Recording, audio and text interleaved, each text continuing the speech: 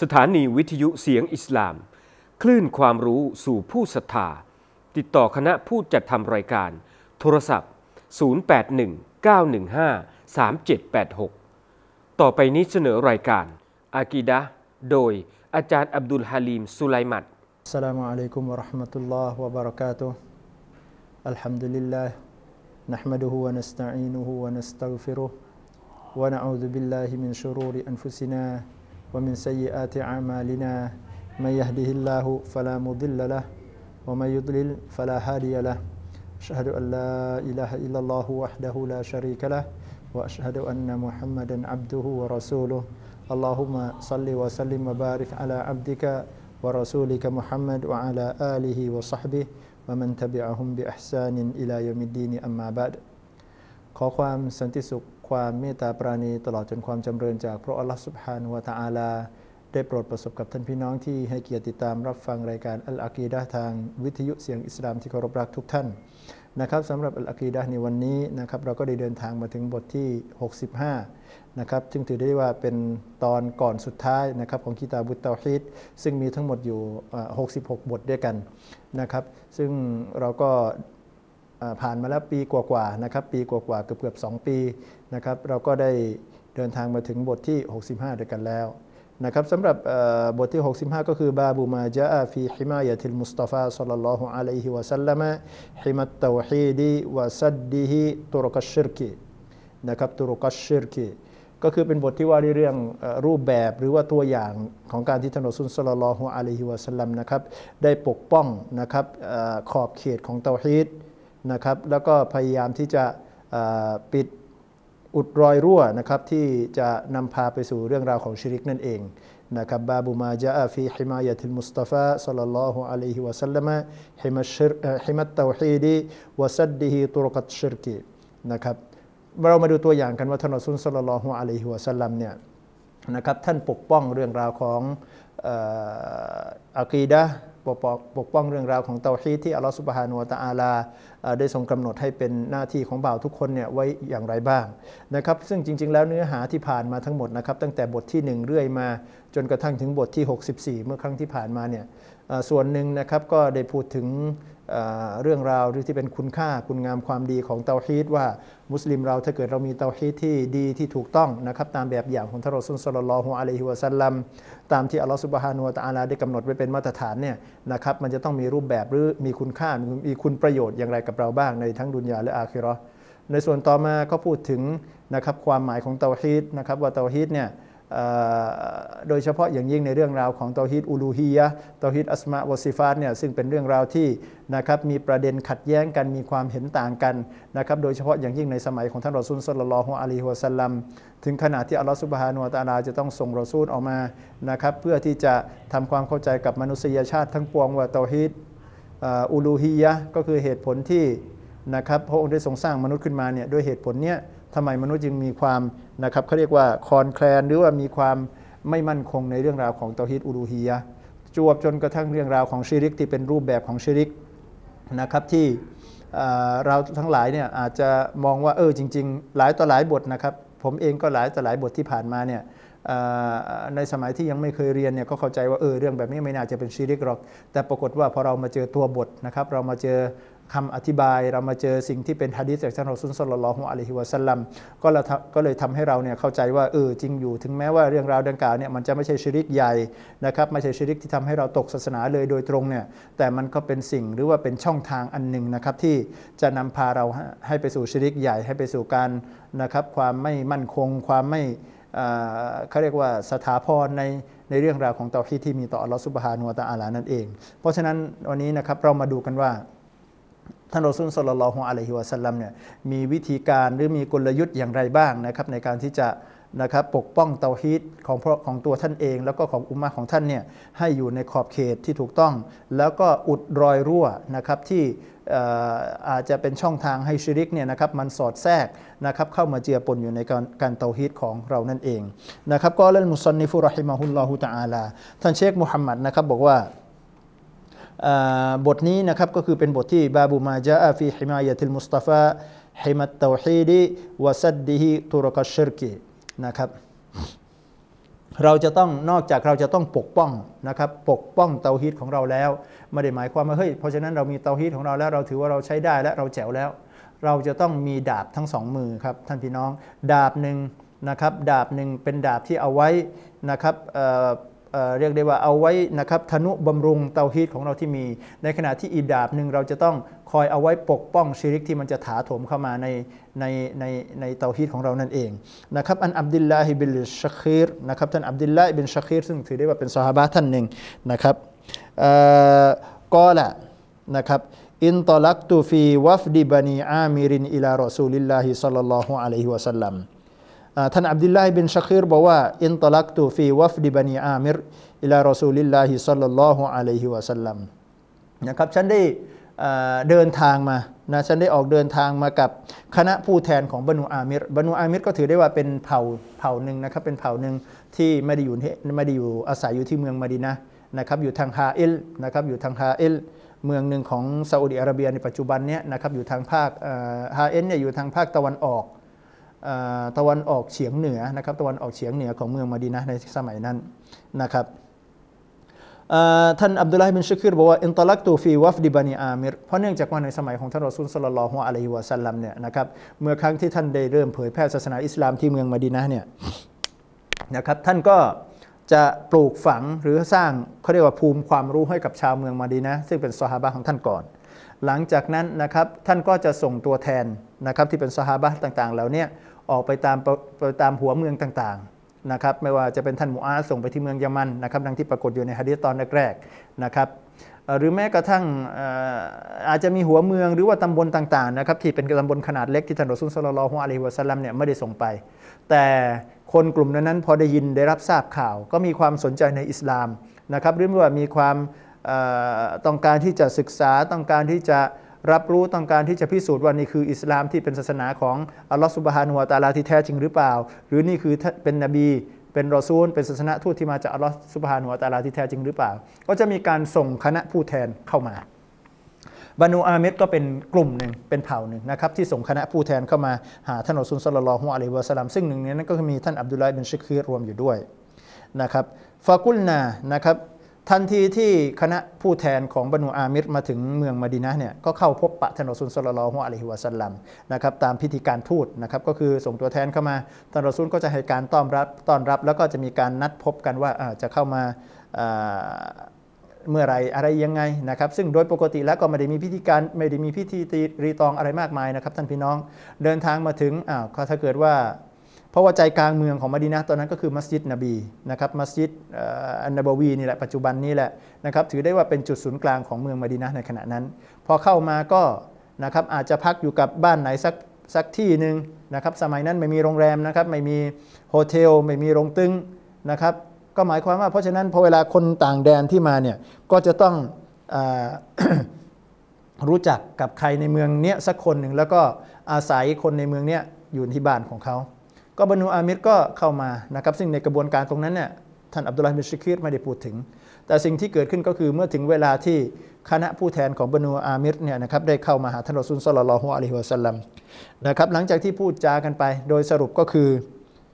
บรรนูอามิรก็พูดกับท่านรอซูลว่าอันตะไซยีดูนานะครับเอาแบบนี้เลยนะอันตะไซยีดูนาท่านท่านนบี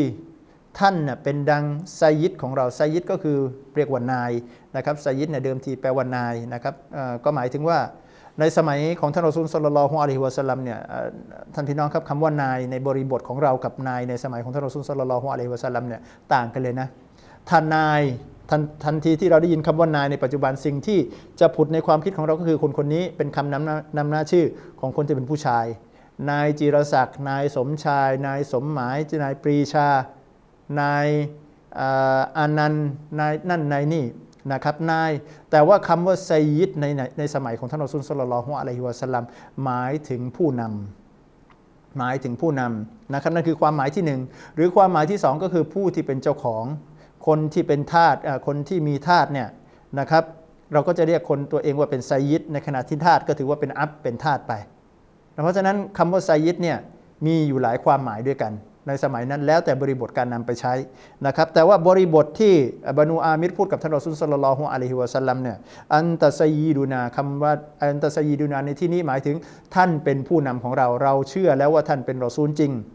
นะท่านเป็นศาสนาทูตที่มาจากอัลลอฮฺสุบฮานุวะตะอาลาจริงบานูอามิรไม่ได้บอกว่าตัวเองมาเป็นทาสท่านรอซูลไม่ได้มายกสถานะว่าตัวเองเป็นทาสท่านรอซูลแต่มาบอกว่าตัวเองคือคนที่ติดตามท่านรอซูลสุลลัลอฮุอะลัยฮิวะสัลลัมเป็นคนที่ศรัทธาในท่านรอซูลสุลลัลอฮุอะลัยฮิวะสัลลัมเพราะฉะนั้นไซยิดูนาอันนี้จะหมายถึงคนที่เป็นผู้นำไซยิดที่เป็นผู้นำนะครับ ปรากฏว่าพอเผ่าบรรนูอามิรนะครับผู้แทนของเผ่าบรรนูอามิรเนี่ยทูตของบรรนูอามิรพูดกับท่านรอซูลว่าอันตะไซยีดูนา ท่านเป็นผู้นำของเรา ปรากฏว่าท่านรอซูลสลลัลลอฮุอะลัยฮิวะสัลลัมเนี่ยตอบกลับไปเลยว่าอัสไซยิดุอัลลอฮุตะบารกะวะตะอาลาไซยิดคำว่าไซยิดคือคำเดียวกันนี่แหละไซยิดคืออัลลอฮฺสุบฮานุวะตะอาลาต่างหาก ท่านรอซูลตีความคำว่าไซยิดที่บรรนูอามิรพูดกับท่านเนี่ยอีกความหมายหนึ่งทันที เนื่องจากว่าความหมายคำว่าไซยิดอย่างที่ผมบอกฮะความความว่าไซยิดมันมีความหมายที่กำกวม ความหมายหนึ่งอาจจะหมายถึง เจ้าของความหมายหนึ่งอาจจะหมายถึงผู้นำบรรนูอามิดพูดว่าท่านรอซูลคือผู้นำของเรา แต่ท่านรอซูลสลลัลอฮุอะลัยฮิวะสัลลัมกลับพูดแบบนี้ฮะว่าอัลลอฮฺสุบฮานุวะตะลาคือไซยิดไซยิดในความหมายของท่านรอซูลก็คือคนที่เป็นพระเจ้า คนที่เป็นผู้สูงสุดที่มีบ่าวก็คืออับดุลทั้งหลายเนี่ยอยู่ภายใต้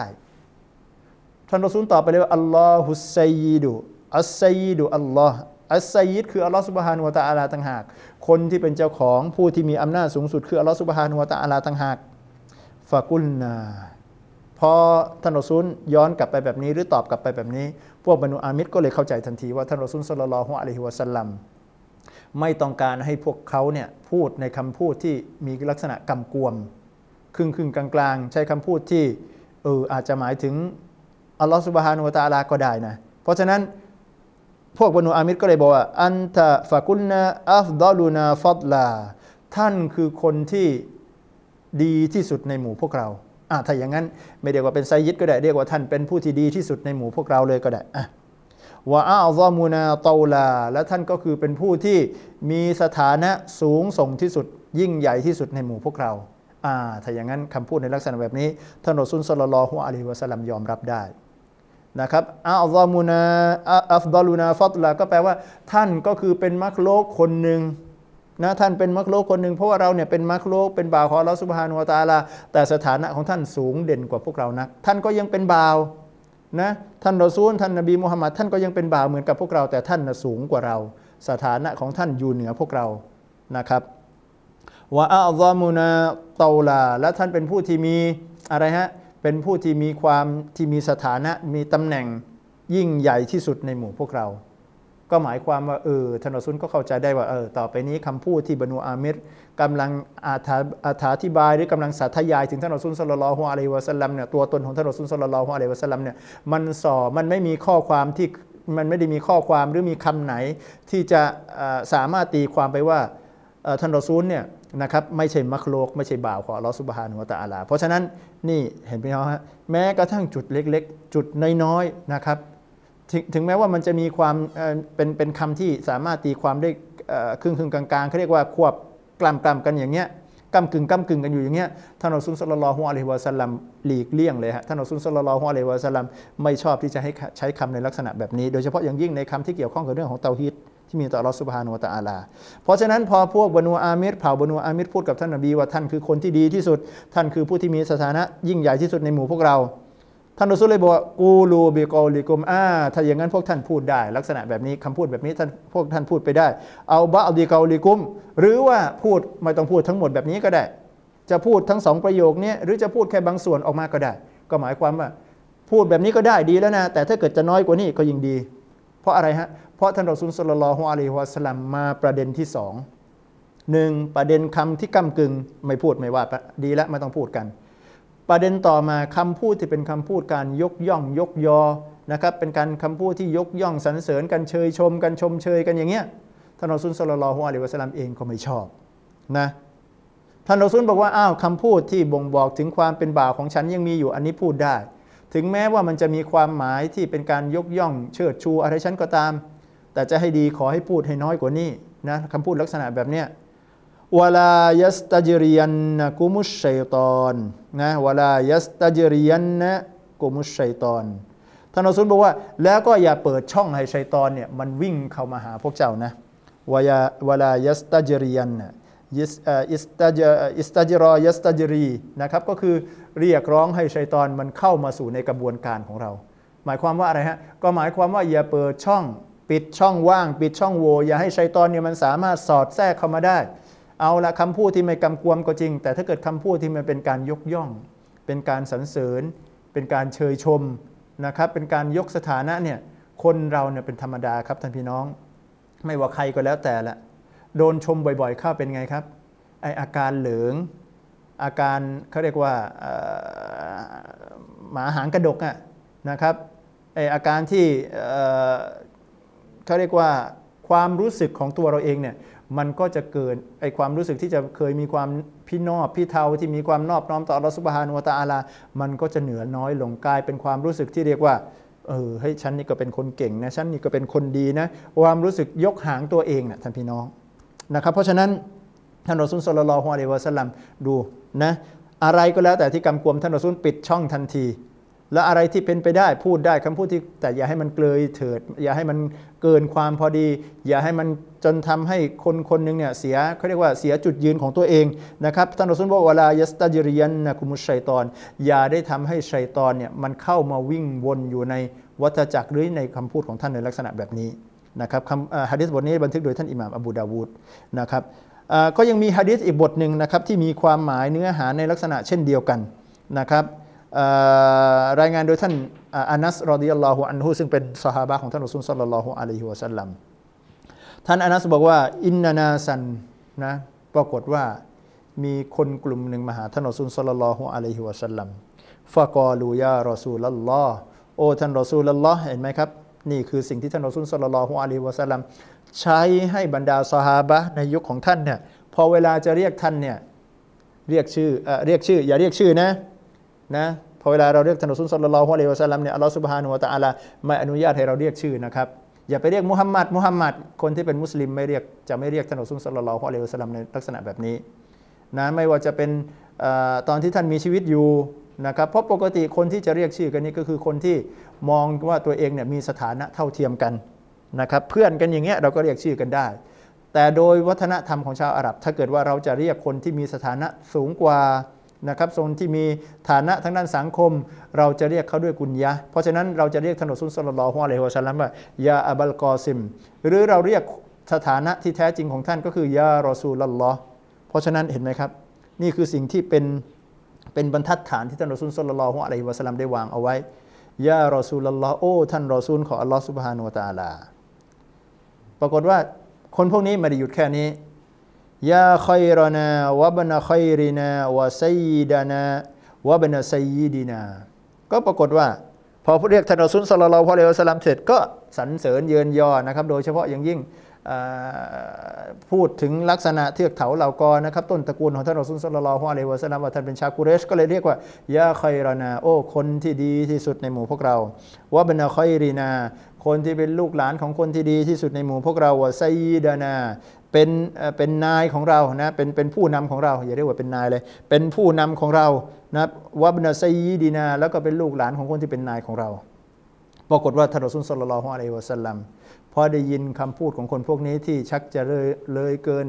นะถึงจะเลยเถิดละพูดเกินความพอดีละนะยะอายุฮันนัสท่านพูดตอบกลับเลยว่าอ้าวพวกท่านทั้งหลาย โอ้มนุษย์ทั้งหลาย ไม่ได้เรียกใครนะท่านนี่นี่คือมารยาทของท่านรอซุลสลลัลฮุอะลัยวะสัลลัมพอเวลาท่านเห็นใครทำผิดเนี่ยท่านจะไม่ประจานเขาไม่พูดถึงเขาโดยตรง แต่พอเวลาท่านจะบอกท่านจะพูดกับ ในลักษณะรวมๆพูดง่ายๆ สมมติว่าถ้าเกิดมีคนในบ้านเราเนี่ยหรือในในบุญบ้านของเราเนี่ยมีคนทำผิดสักคนหนึ่งถ้าเขาเตบขึ้นคุตุบะเอาชื่อคนนี้ไปประกาศโคมโคมโคมเลยคนนั้นทำความผิดอย่างนั้นทำแบบนี้ไม่ถูกนะทำแบบนี้ไม่ถูกบนบนบิมบัตเกิดอะไรขึ้น คนทั้งมุเก็มก็จะรู้เลยใช่ไหมครับว่าเออเฮ้ยคนนี้มันทำความผิดนะ แต่ถ้าเกิดคอเตบหรืออิหมัมรู้แล้วว่า คนคนนี้ทำความผิดประการหนึ่งประการใดนะครับ แต่พอเวลาขึ้นวันศุกร์ขึ้นคุตุบะก็พูดถึงประเด็นอันนี้แหละเพียงแต่ว่าไม่เอ่ยชื่อ แต่พูดกับคนทั้งมวลว่าพูดกับคนในภาพรวม คนในกำปองอ้าวพี่น้องครับนะไอการกระทำในลักษณะเช่นนี้มันผิดอย่างนั้นหนึ่งสองสามสี่ห้าเอาตัวบทหลักฐานอะไรมามาพูดมาสอนมาทำความเข้าใจกัน คนที่ฟังอยู่ในวันนั้น คนที่มาละหมาดวันศุกร์ในวันนั้นก็ไม่รู้แล้วว่าข้อเตบเนี่ยพูดถึงใคร แต่รู้แล้วว่าคนที่มีลักษณะแบบนี้คือคนที่ทำความผิด เพราะฉะนั้นเขาจะได้ระวังตัวกันนี่คือมารยาทหนึ่งของท่านรอซูลสุลลัลฮวอะลัยฮิวะสัลลัมท่านจะไม่พูดประจานนะครับท่านจะไม่ระบุตัวตนว่า คนคนนั้นทำแบบนั้นทำแบบนี้นะครับโดยเหตุการณ์ส่วนใหญ่ แต่ก็จะมีบางครั้งบางคราวนะครับที่ท่านรอซูลเนี่ยก็จะตำหนินะตำหนิเป็นรายบุคคลเลย ถ้าเหตุการณ์มันหนักหนาสาหัสสาหัสสาหัสสาการจริง ๆ นะครับามาดูกันต่อว่าท่านรอซูลสัลลัลลอฮุอะลัยฮิวะสัลลัมพูดอะไรต่อยาอายุฮันนัสโอ้มองเวลาหมดซะก่อนครับท่านพี่น้อง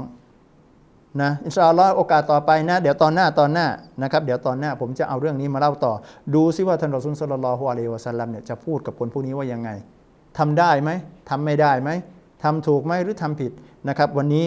หมดเวลาซะก่อนจากท่านพี่น้องไปด้วยเวลาเพียงเท่านี้وصلى الله على نبينا محمد وعلى آله وصحبه وسلم والحمد لله رب العالمين ที่จบไปแล้วเป็นอาจารย์ อับดุลฮาลีมสุไลมัดผลิตรายการโดย สถานีวิทยุเสียงอิสลาม คลื่นความรู้สู่ผู้ศรัทธา สื่อบริการสาธารณะ สื่อที่ไม่มีโฆษณา วิทยุเสียงอิสลาม ขอเชิญรับชมรายการย้อนหลังได้ที่ YouTube ค้นหารายการโดยพิมพ์คำว่า Muslim on Air